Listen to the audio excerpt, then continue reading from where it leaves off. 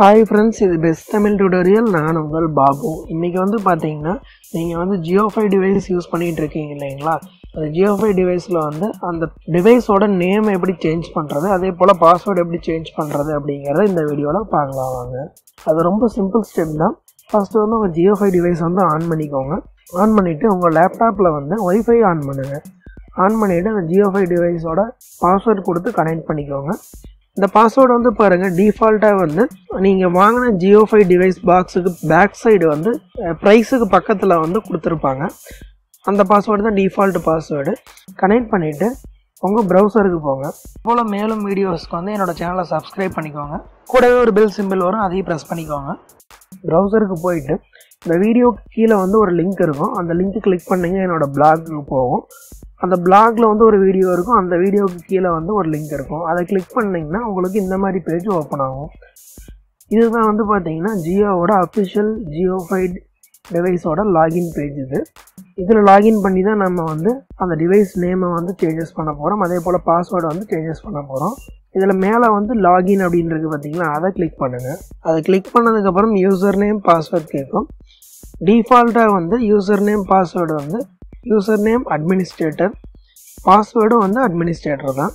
அதை கொடுத்துட்டு ஓப்பன் பண்ணுங்கள் ஓப்பன் பண்ணிவிட்டு உங்களுக்கு வேணும்னா நீங்கள் சேஞ்சஸ் பண்ணிக்கலாம். உள்ளே போனதுக்கப்புறம் நீங்கள் சேஞ்சஸ் பண்ணிக்கலாம் அந்த யூசர் நேம் பாஸ்வேர்டை பட் டிஃபால்ட்டான யூசர் நேம் பாஸ்வேர்டு இது தான் கொடுத்த உடனே ஓப்பன் ஆகிடும் ஓப்பன் ஆனதுக்கப்புறம் மேலே வந்து செட்டிங்ஸ் அப்படிங்கிற அந்த ஆப்ஷனுக்கு போங்க.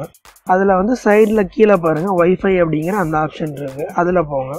அதில் போனீங்கன்னா அந்த எஸ்எஸ்ஐடி அப்படின்னு ஃபஸ்ட் இருக்குது பார்த்தீங்களா அதுதான் உங்கள் டிவைஸோட நேம் உங்களுக்கு என்ன பேர் பிடிச்சிருக்கோ அந்த பேரை வந்து நீங்கள் இதில் டைப் பண்ணி சேவ் பண்ணிட்டீங்கன்னா அந்த நேம் வந்து சேஞ்சஸ் ஆகிடும் அதுக்கடுத்து கீழே வந்தீங்கன்னா செக்யூரிட்டி கீனு இருக்குது பார்த்தீங்களா அதுதான் உங்களோட பாஸ்வேர்டு இந்த பாஸ்வேர்டு வந்து பாருங்கள் டிஃபால்ட்டாக வந்து நீங்கள் வாங்கின ஜியோ ஃபைவ் டிவைஸ் பாக்ஸுக்கு பேக் சைடு வந்து ப்ரைஸுக்கு பக்கத்தில் வந்து கொடுத்துருப்பாங்க.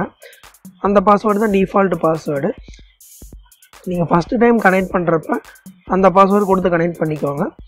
இதில் வந்து நீங்கள் உங்களுக்கு என்ன பாஸ்வேர்டு பிடிச்சிருக்கோ அதை நீங்கள் சேஞ்சஸ் பண்ணி அப்ளை கொடுத்தீங்கன்னா உங்களுக்கு சேஞ்சஸ் ஆகிடும் ஒன்ஸ் நீங்கள் அப்ளை கொடுத்த உடனே டிஸ்கனெக்ட் ஆகிடும் மறுபடியும் வந்து ஒய்ஃபை வந்து கிளிக் பண்ணி ஆன் பண்ணணும்.